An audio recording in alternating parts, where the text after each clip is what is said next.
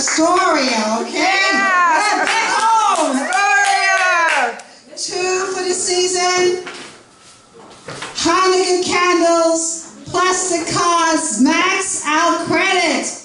Eight days of oil. Round two. Candle, Hanukkah candles, plastic cards, max out credit.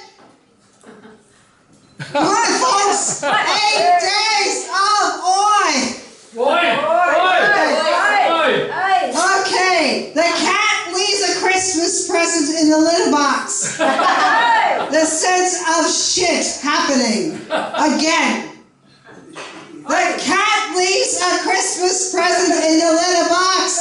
The sense of shit happening. Thank you. Now for prose. This is for the new year that hasn't come yet. Deja vu. It happens every New Year's Eve. It's always at the same restaurant. Twenty Cinderellas sit at tables set for two.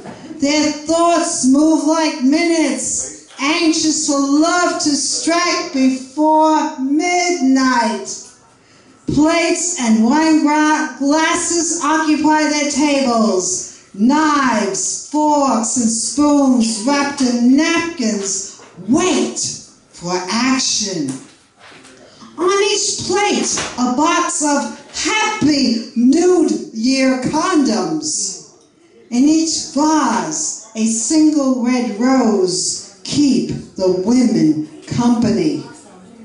The scene is the same every each year, except for fashion, aging, and newcomers.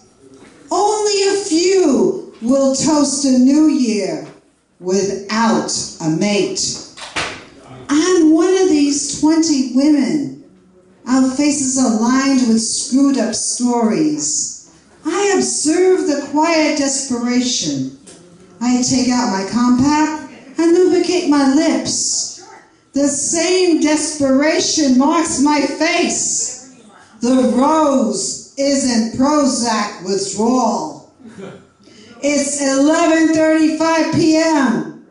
Two of the newcomer women are leaving. Their 27 20 uh, something smiles radiate. Their Prince Charming did arrive before midnight. But how long will their lip gloss, condoms, and euphoria last? My rose is in striptease mode. It will be January 1st in a few minutes. No one has entered the restaurant since those two women left. I decide to leave. As I rise, the tablecloth slides. The plate, wine glass, and vase crash. The knife, fork, and spoon scatter. The condom box and napkin bathe in wine. My rose lies naked on the floor. I exit the restaurant. At the sports bar next door, the ball drops on a flat screen TV. I head for the subway and crowd in with the drunks. Leaning against the door, I zone out the noise. My thoughts tell me not to return. But that was last year's resolution and the years before. Thank you. Harry!